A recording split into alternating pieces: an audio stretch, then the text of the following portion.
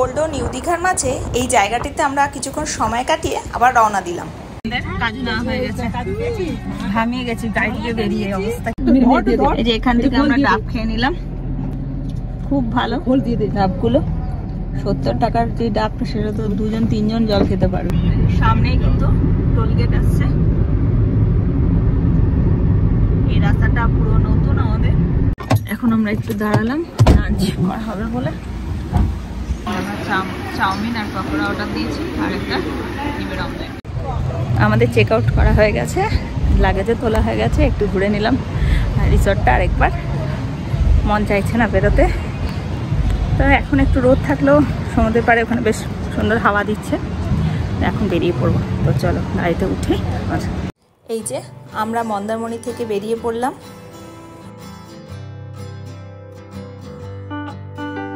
আমরা দীঘা হয়ে ফিরবো, কারণ দীঘা থেকে কাজু কেনার প্ল্যানিং আছে। দীঘা যাওয়ার জন্য আমরা মেরিন ড্রাইভ রোডে উঠে পড়লাম।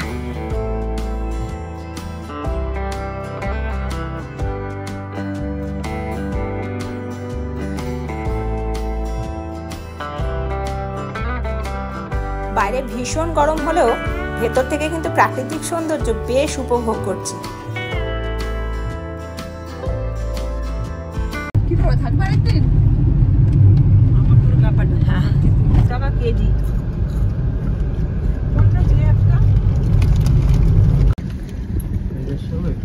রিক্রুটমেন্ট হয়ে যায়।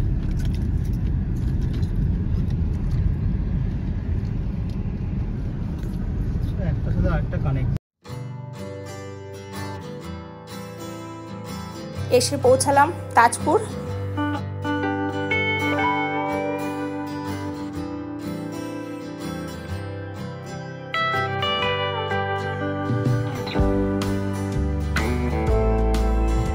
দেখো সমুদ্রের জল পুরো উথাল পাথাল করছে।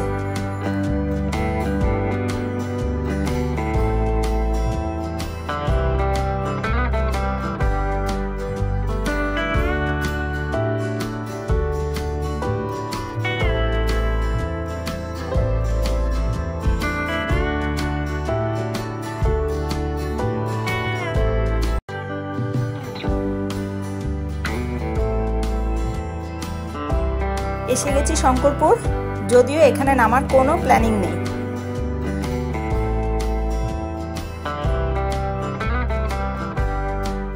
রাস্তাটি দুধারে সবুজ খেরা দেখতে অপরূপ লাগছে।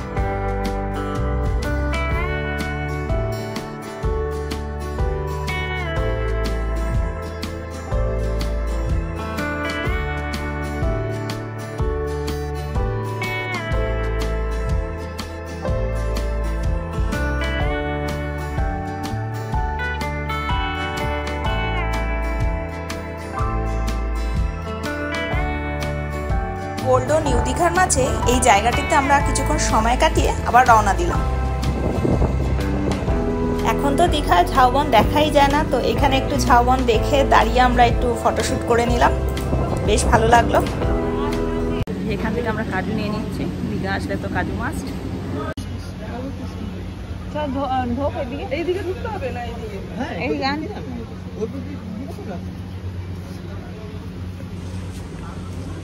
কিন্তু আটশো টাকা ছিল না নশো টাকা? কাজু না হয়ে গেছে। ঘামিয়ে গেছি গাড়ি বেরিয়ে অবস্থা আমাদের কাজু কেনা হয়ে গেছে। এবার আমরা পুরোপুরি রওনা দিলাম বাড়ির উদ্দেশ্যে। এবার কিন্তু আমরা দীঘা থেকে কলকাতা যাওয়ার কমন রাস্তা দিয়ে বাড়ি ফিরবো না। আমরা বাড়ি ফিরবো একটি অন্য রুট দিয়ে। তো চলো তোমাদের সাথে রুটটা শেয়ার করে নিই। দীঘা দীঘা চন্দনেশ্বর জলেশ্বর দাঁতন বেলদা খড়গপুর ডেবরা কোলাঘাট হয়ে বাড়ি ফিরব। শুনেছি রাস্তার কন্ডিশন এবং সিনিক বিউটি দুটোই দারুণ। তো আমাদের সাথে তোমরা ভিডিওটির মাধ্যমে দেখতে থাকো।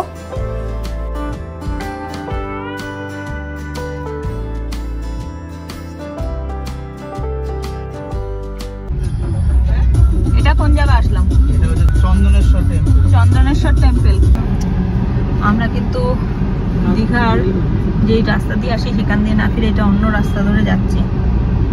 ডিস্টেন্সটা একটু বেশি হলেও রাস্তার কন্ডিশন ভালো। তাই এই রাস্তাটা ধরে যাচ্ছে।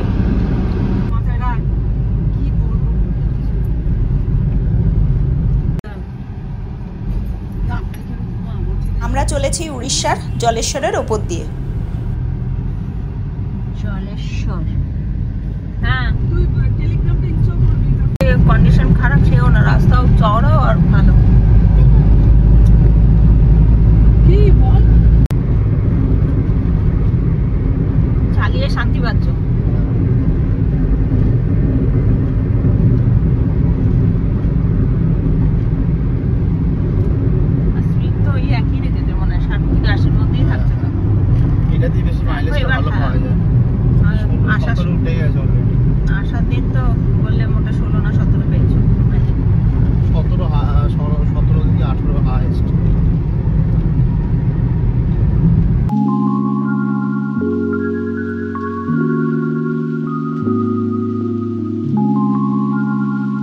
আমরা যেহেতু উড়িষ্যার প্রবেশ করেছি তাই গাড়ির নাম্বার প্লেটে চোখ পড়ছে ওডি।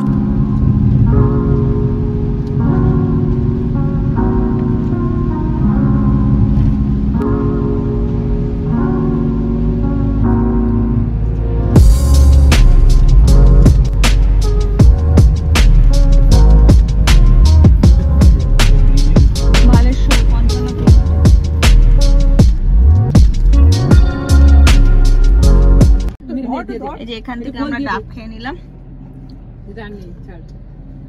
খুব ভালো। ডাবগুলো। সত্তর টাকার যে ডাবটা সেটা তো দুজন তিনজন জল খেতে পারবে। এই যে এটা নিন। এটা ধরুন তো দাদা এটা। আমরা দুটো বাড়ির জন্য নিয়ে নিয়েছি। এখান থেকে ডাব খেয়ে আবার দুটো ডাব নিয়েও নিয়েছি বাড়ির জন্য।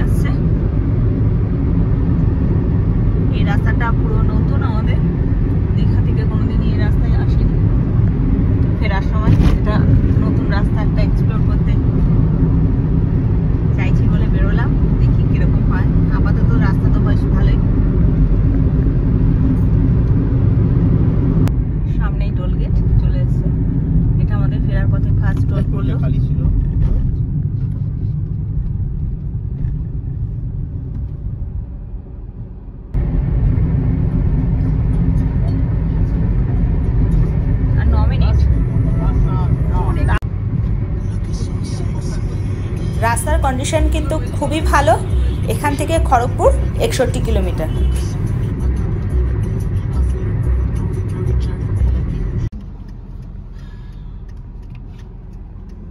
এই নিচটা বাইরেটা ঠান্ডা হাওয়া তো মনে হয় দিচ্ছে গাছটা দেখে মনে হচ্ছে।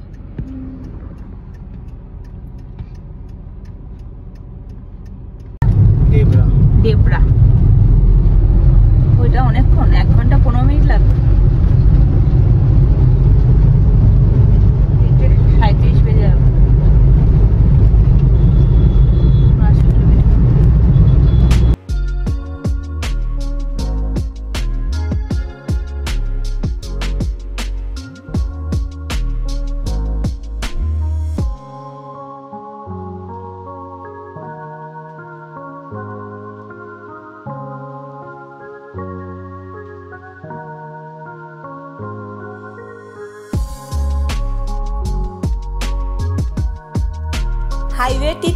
গাড়ির সংখ্যা কিন্তু একদমই কম।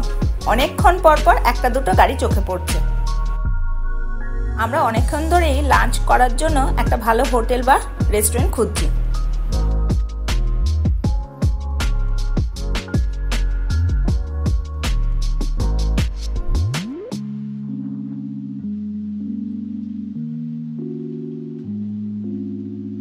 এখন আমরা একটু দাঁড়ালাম লাঞ্চ করা হবে বলে।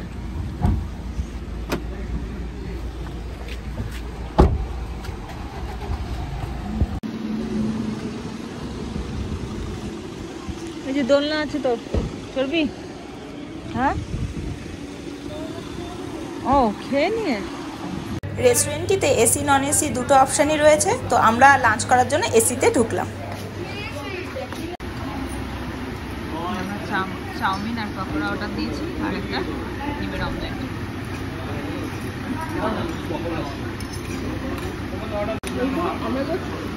অনেক কিছু ছিল।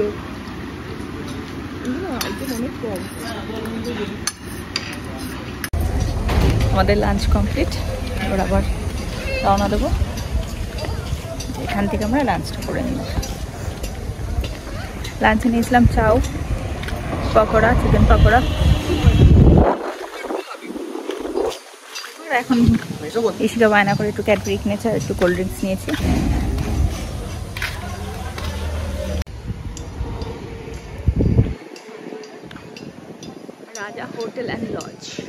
এদিকে আসলে রেস্টুরেন্টটিতে আসতে পারো। খাবার দাবার কিন্তু ভালোই।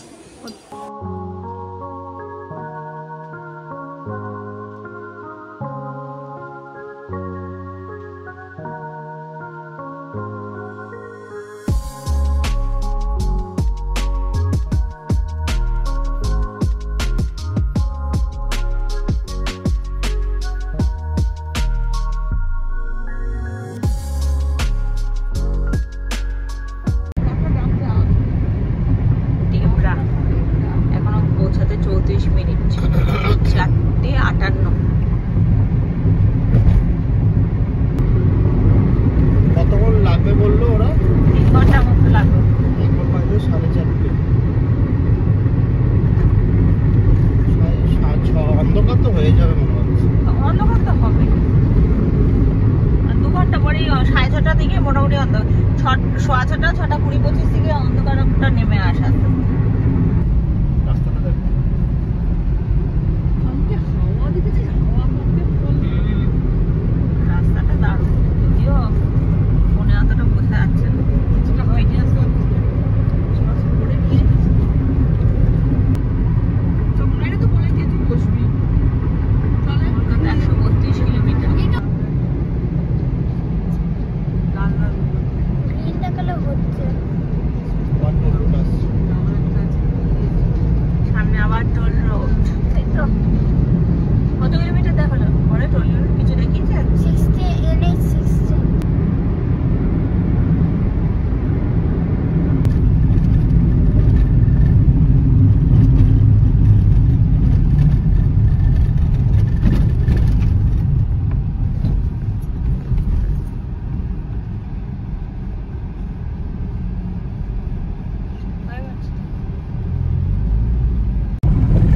চোখের কি অবস্থা ঘুমা একটু ঘুম পেয়েছে তো দেখতে না দোল্লা চড়বো তখন মুখটা দেখতে একবার ওয়াক সামনে এসছে। আমার কোলে বসেছে। পেছনে কাকে দেখা যাচ্ছে? দেখো এটা কেন বললে এরকম?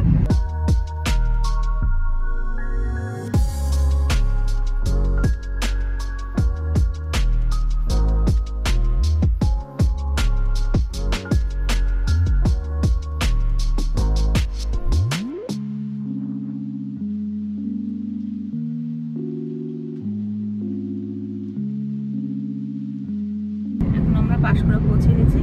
বাজে হচ্ছে পাঁচটা এগারো। এখনও কোলাঘাটে পৌঁছাতে সময় দেখাচ্ছে সাত মিনিট লাগবে। পাঁচটা উনিশ বাড়ি চলে আসতে হবে। আরও থাকার ইচ্ছে ছিল। যত থাকবে তত পড়াশোনা করতে হবে।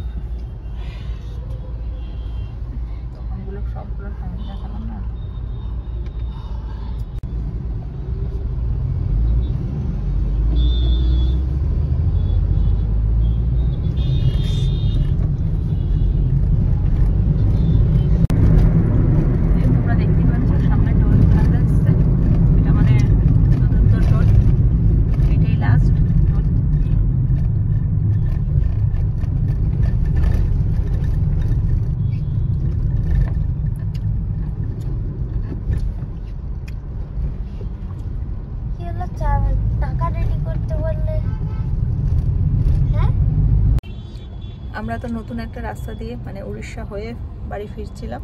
তো ভালোই আসলাম। তো কোলাঘাটের পর থেকে কিন্তু বেশ সিগনালে পড়তে হচ্ছে অনেকটা সময় লেগে যাচ্ছে। এই যে প্রত্যেকটাতেই দাঁড়াতে দাঁড়াতে যেতে হচ্ছে।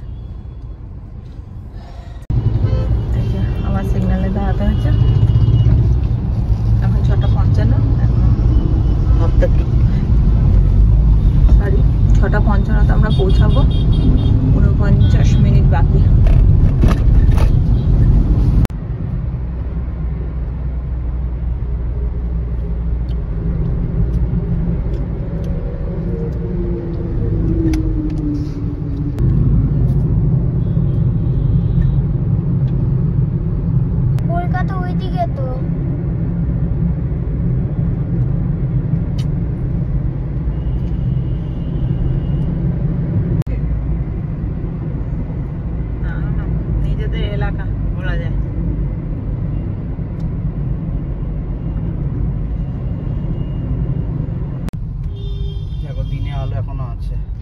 আমরা পৌঁছে গেছি রাজচন্দ্রপুর আমরা এসে পৌঁছালাম বালি হল্ট।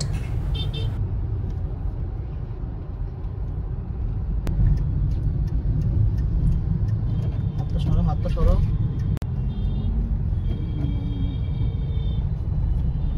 ঘরে কিছু বাজার আছে? আলু ফালু আছে ও?